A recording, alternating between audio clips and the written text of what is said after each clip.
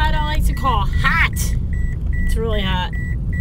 Um, I just got done my shift at work at the oil shop. And we always drive to the bank and then, you know, my coworker drives behind me so that we're all safe. It's like a $15 deposit, but oh well. Um, so today in the office, I was sitting down and I was writing down, I forget what I was writing, but I was writing something. And I hear, and I hear like this huge like buzzing, and I'm like, what in the hell is that? And I look up at my office windows. There's three of them, and they kind of, they're like those Andersen windows where they don't push up, they go out. So they kind of open and like, I don't know. Um, well, the center one doesn't open. The center one has an open sign right in the middle of it. And uh, there was a ginormous, what it looked like was a wasp.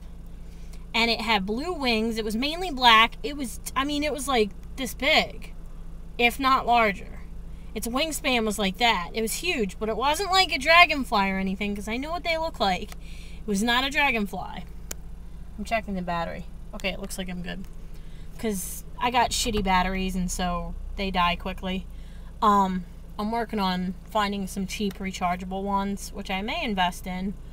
Um, but for now, we have these. Oh my god, it's hot. It's really hot. Anyway, so I'm not ashamed to say that I screamed and I ran out of the office. I have a little bit of a phobia around bees. Me and bees, we don't get along. Anyway, so I ran like hell and Tom comes in. Tom's like my absolute favorite person to work with. Um, not because he works hard, but because I talk to him a lot. And don't get me wrong, I love all the guys I work with, but Tom's my favorite. He also is from the same area that Ange is from in Michigan, so it's kind of like he knows people that I talk about, like, or I know people that he talks about, or whatever. And so, I don't know. He's just, he feels almost like family or like really good friend and he has since the first time I worked with him. But anyhow, so I love working with Tom and I'm not afraid to be a little sissy bitch in front of him. I was like, Tom! And he came running and he's like, huh. And um, he killed it. I gotta shift, sorry. Stick shift, and I'm trying to vlog. Um, so he killed it for me, which I know this is going to sound like a complete contradiction, but I felt so bad after he killed it. Like, I literally felt like sad. I was like, please, dear God, take that soul up to heaven and give it the love and respect it didn't receive here on earth. Because I just made somebody kill it.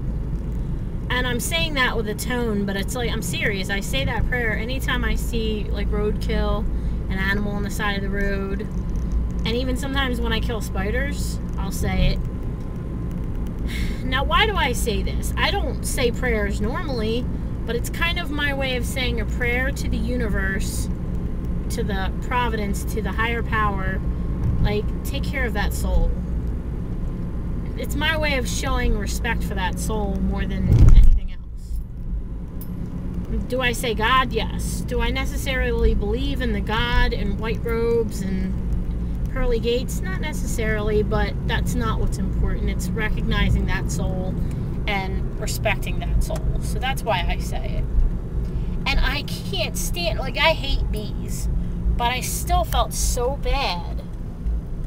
Because I've been thinking a lot recently about, sorry about the shakiness, people. I've been thinking a lot recently about the BSL and the legislature specific to breeds uh, and dogs. And they deserve rights. Animals do. But where do we stop that? Where does that? I mean, then are we not? I mean, what? How does that apply to cattle? They're animals too. They're souls. How does that apply to pest control? They're bees. They're bugs, ants, termites, all that shit too. And I don't know the answer, but it's just been on my mind a lot lately. But especially something that somebody posted on Facebook about pits. Um, my humans fought me. They cut my ears off. They cut my tail off. And I'm the one that gets a bad rap. I'm the one that gets banned. And it has a picture of a pit bull looking at you. And it's so true. It's like, but then how does that apply to everything else? Because for all we know, the weight of a dog's soul may have just as much, or mean it means just as much as the weight of a bee's soul. But is it just because dogs are cute and cuddly that I feel so strongly about it? Why do I feel this way? And even though I'm not questioning how much I believe that dogs deserve rights and that they don't, we don't deserve dogs, humans, I, I don't know. I don't know how the rest of it works or should work. I, I honestly don't know. And I guess that's okay because nobody else does either. Or maybe you guys have feelings about it.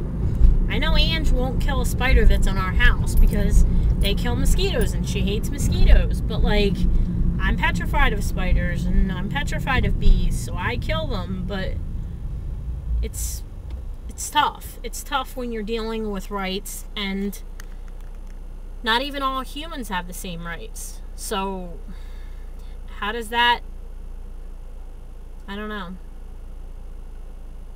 I don't know. I'm rambling, but I'm just kind of putting my thoughts out there on my way home to work because a lot of this stuff sits heavy on my mind. I know last night, especially as I was going to sleep, I was just like, my God, like, really? As a society, do we always have to have something to push down so that we can feel okay about ourselves? Really? Because it sucks. It sucks that there's always somebody who's the whipping boy of society. And somebody could be a human, an animal, it doesn't matter. It's it's a soul and it deserves respect.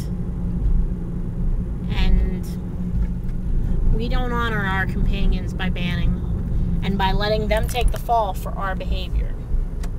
We don't honor the animals that we don't deserve to be masters of. Because frankly, my dog's a better person than I am. I mean, if you took away all of society's laws and rules and everything, would we still be as good as we are? Alright, hang on one sec. I gotta drop off the bag.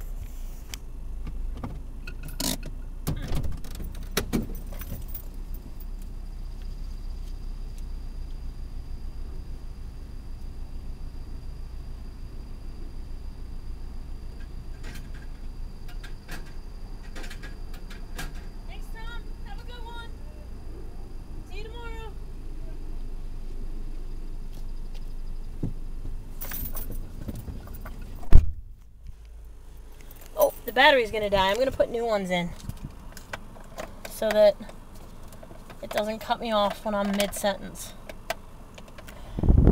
hate it when that happens.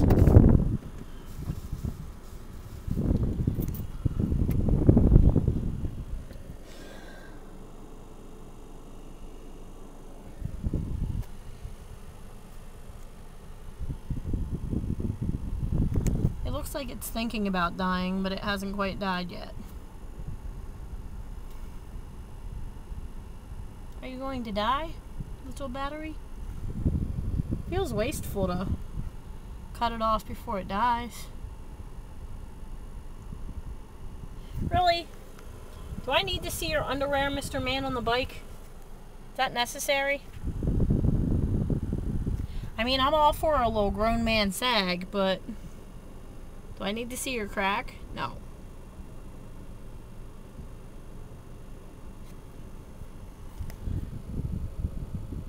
I think this is gonna die soon.